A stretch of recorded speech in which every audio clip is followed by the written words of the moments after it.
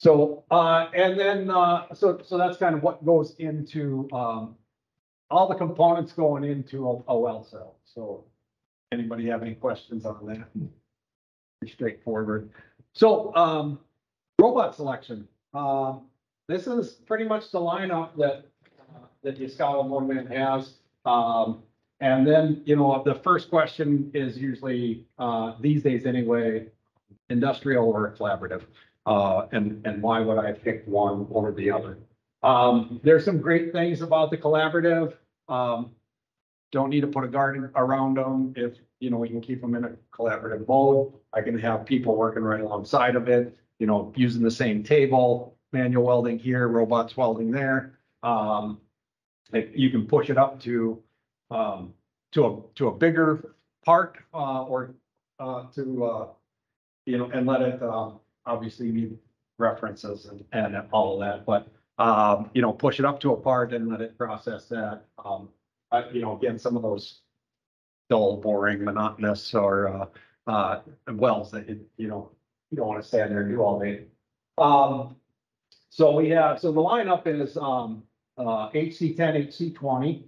Uh, and they, uh, they both come with, uh, direct teach, so we can do hand guiding with them. Uh, so buttons right here to, uh, to allow us to hand guide that robot and teach a point.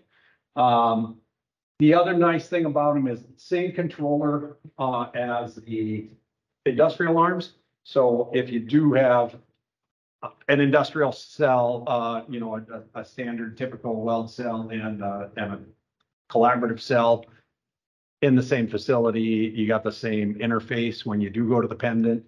Um, the, and you can program those with the traditional teach pendant also. Um, you got the universal, uh, weld interface, uh, and the Motoman collaboratives are just, uh, they're a little more industrial than most of the other, if not all of the other collaborative robots, uh, that are on the market. Uh, they all have their place. I'm not, it's gonna down talk them, but, uh, these are sturdy, robust robots and we have an HC ten back there in the corner, so, um, we can, if you wanna put hands on that. They Um, can set up an industrial mode without PFL and um, at rates or. Right. full speed, which is, uh, you know, it, um, match, is close to matching the, the speeds that the, that the ARs will run. Um, and you can do that, uh, switching them in and out with, uh, with safety devices, so, um, they can switch in and out of that collaborative mode easily. Um, the downfall, uh, uh, one thing that I was gonna note too is like, so a lot of times, um, we get this, you know, like, you wanna hand guide that robot to, um, teach, uh, all my positions and things like that. It's an easy way. It's great to get started. That's great for simple joints, uh, simple welds, you know, flat on the table, anything like that. Um, what we tend to see, um, and a lot of people buy that over an industrial just for that reason. And what I've tended to see is like, once they get used to the pendant, uh, which doesn't really take that much, you know, it's like a couple hours with the pendant in your hands, you're pretty comfortable driving. Take one of our training classes, we'll get you jump started. Um, and they end up not touching this, this direct teach anymore. They end up doing everything with the pendant. And when you get into the, you know, more articulated, but those joints that are hard to reach or in strange places where you need more articulation, uh, you're gonna tend to just go to the pendant anyway. Um, not that you can't do that with direct teach, but it's, uh, it's, I guess once you get comfortable with it. I don't wanna. Hijack your deal, but support that. Prior to HC tens and, and our collaboratives coming into the market, we had an option that you could buy with our robots. Uh, that allowed you to grab the torch and drive the robot with the weld torch in an industrial arm. So you had to hold the kind of in your hand or set up a scenario where you give a push button to circles were live, but you're hand guiding it using a six degree. You guys sold a few of those. We did. I sold a few of those. Yep, Well, my colleagues sold a few of those. yep. And then two years down the road, they just kind of died. Not because the technology, or not because the hardware died, but a month after that robot system was in the shop, they were hand guiding it, they were using the pendant, yeah. It didn't need to spend the money on this. It's, it's Yep. not that difficult. We could teach a simple part just as fast with the pendant as we can in handgun. the very first one we sold, you know, like I was all for it, right? Because they, uh, you know, it was, it was, they had a robot weld, welder in their facility, but it was an old one. Somebody else had programmed, they're no longer here. Everybody's kind of afraid of it. And so they, they bought that Kinetic Teach, which was that hand guiding. Um, and, uh, they, we, we did a basic training here. The cell got to their floor. And uh, he picked up the pendant and started creating jobs and uh, then went to Motoman training for a little more advanced training for, you know, for a week long course. And uh, he got back and he had a couple jobs programmed and I was out there just helping him, you know, do a couple of things. And um, I said, how, you know, how did the direct, that, that direct teach work, that kinetic teaching? And he's like, oh, I've never used it. Never even touched it because he just picked up the pendant, you know, that easily and started drive it around. and- At that point in time, I think that was like a seventy-five hundred dollar option. Right, yeah. You're Spending an extra seventy-five hundred bucks Yep. or something. Never, and so, and so then I told that story to the next people that were gonna buy it and, or that bought it, and, uh, they're like, oh, you know, but same thing, I don't wanna be, a um, you know, the, the pendant can be intimidating at first. We wanna be able to teach this easily, and same thing, they never used it. So, uh, so, you know, kind of goes hand in hand here, it, it does, it's a great option to have, and, and there's more reasons to have a collaborative robot than just that direct teach. Um, you know, we can run it in that fenceless environment.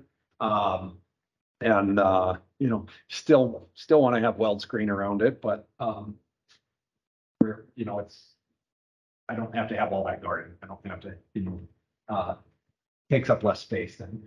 Um, all right, so industrial arms, um, the, one of the big things here is that we just have a really large selection. So large selection, uh, everything from seven hundred millimeter reach.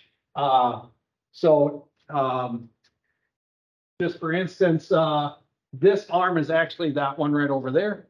Uh, with the big, uh, snaggle tooth coming off the front, but, um, uh, so the, the GP eight, uh, is this eight kilogram, seven hundred millimeter reach. Um, the nine hundred millimeter reach would be that same arm just with an extended upper arm. So, uh, we got an extension through here. Um, drops the payload a little bit, but in a weld environment, we're usually not concerned so much about the payload. Plus, we're gonna pick parts up and move them around. Uh, so from there, we got the fourteen forty, um, probably the most popular. Um, and, uh, and then, uh, the fourteenth, there's also a, a seven axis option, so this one has an extra axis, uh, in this lower arm. Um. I got to use one of those. We've, I've, we've never done a cell, uh, with that robot in it, but I did get to use one, uh, at, in in Ohio, and it's, uh. I'm surprised we don't sell more of them, just because it, it does give you, like, you can just lay that arm over. It's just a whole nother. Open, opens up a whole nother realm of like being able to manipulate around a, you know, a part that might have a lot of structure to it that you got a lot of articulation. One customer in the territory that uses those and only when needed and the driver of it, I, I don't know. I know what the driver of using that arm is. They have three weld robots welding on the same part.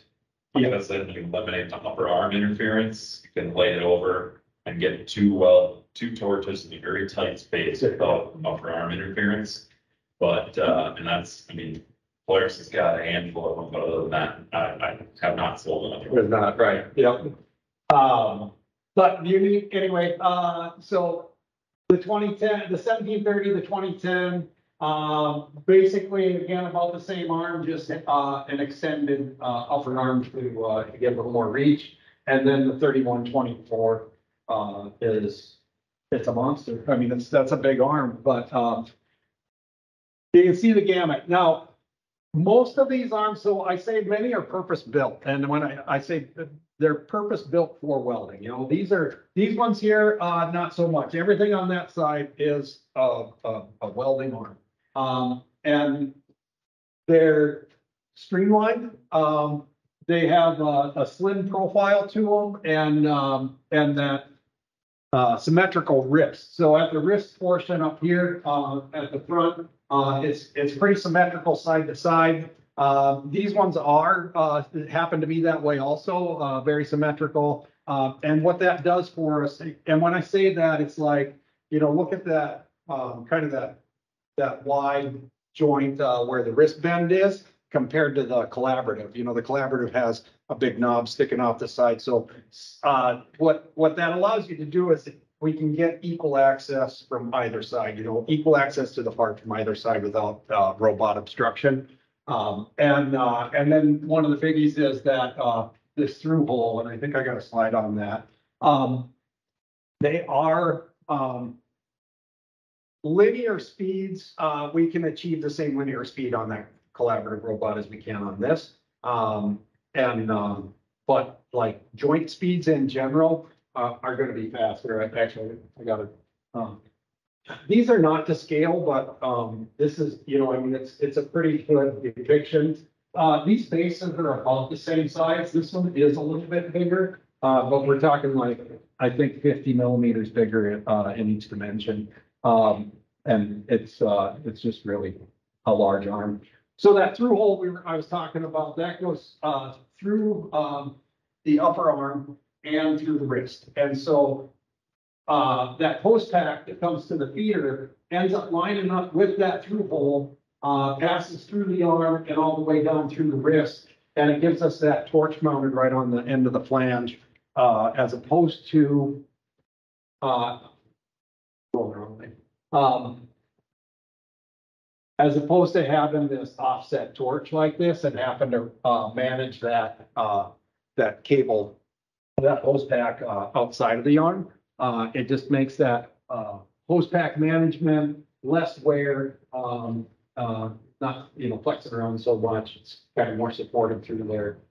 Um, the, uh, uh, it, we've got on these, um, on the AR series, um, there's a, a dedicated mounting spot for your feeder box, uh, and it's tucked in nice and tight, really compact.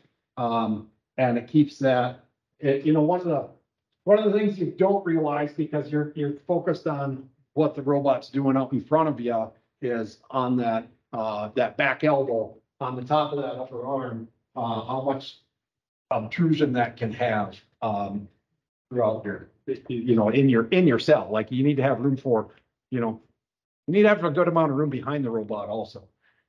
Um, and then, uh, just to kind of talk about that, uh, faster speeds, um, you can see here, this is, uh, this is the HC ten compared to the AR fourteen forty. Um, and so just, um, each joint of that fourteen four of those industrial arms, and this kind of holds true throughout that whole, um, that whole industrial arm lineup. Um, the, the joint speeds that we can achieve on each joint, um, is just higher. Um, gives us a little faster XL, cell, things like that. So, um, the, the, the advantage that the HC ten does have is we do have a, a larger range of motion. Um, and that's because we do have those offset joints. So, um, pro and con, you know, that offset joint, uh, might allow, it might not allow us, uh, um, we might have some obstruction getting into tight spaces, but, um, you know, we also have more, uh, articulation with each one.